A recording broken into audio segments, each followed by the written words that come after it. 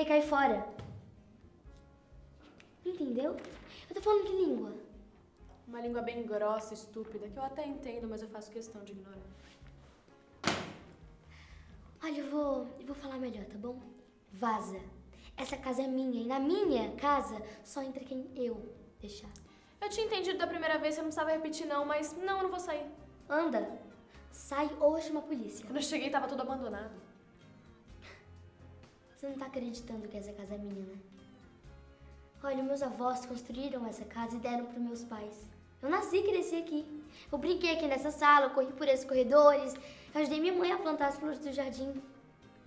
Essa casa é minha. Eu sei, Sabe? sei. Eu sei também como é difícil a gente perceber que não é tão especial. Né?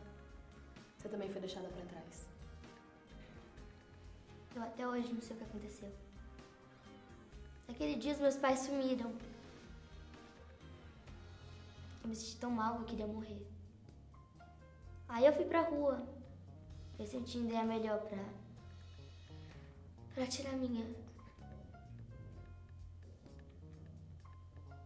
Aí eu voltei pra cá. Desculpa ter invadido sua casa, eu vou. Eu vou seguir minha vida. Não. Minha casa? Só nessa rua tem um monte pra morar. É porque na sua casa tem água quente no chuveiro e tem biscoito recheado no armário. Fala sério. Toda vez que eu passava aqui eu sentia uma energia boa, sabe? Uma alegria, cheiro de comida.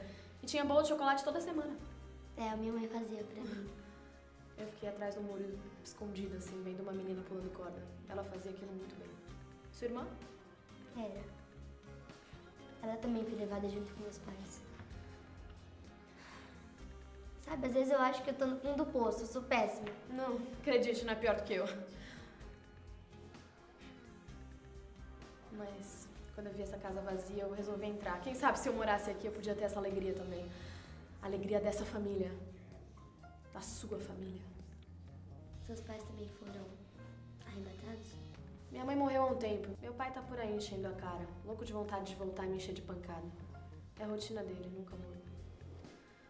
Mas eu, eu fugi por causa disso e eu vou te deixar em paz. Não.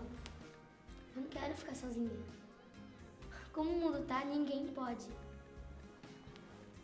Olha, a gente precisa lutar pra melhorar as coisas. Você acha que ainda dá pra ter esperança? Se a gente se unir, sim. O que é que você me diz, hein? Depende, ainda tem água quente no chuveiro? E muito biscoito deixado no armário. Fechado.